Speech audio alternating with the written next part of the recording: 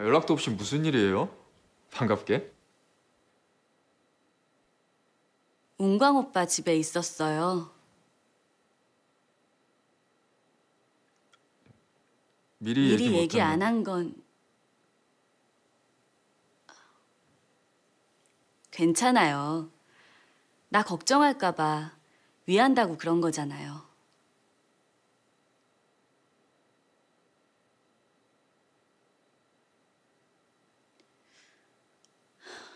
연인 작전 말고 뭔가 다른 작전을 계속하는 거죠?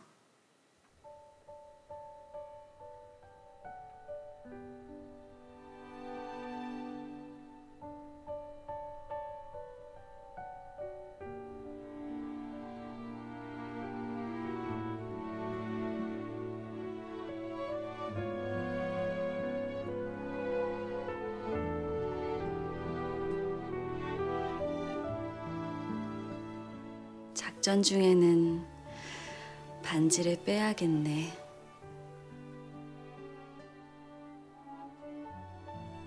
나는 당신의 약점이니까.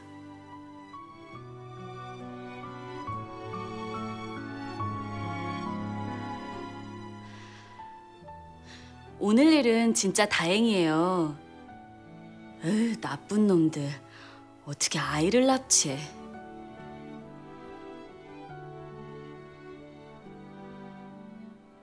당신이 유능한 요원이라 아이는 무사하고 나쁜 놈들은 벌을 받고 그러니까 나는 항상 당신이 하는 일을 응원할 거예요.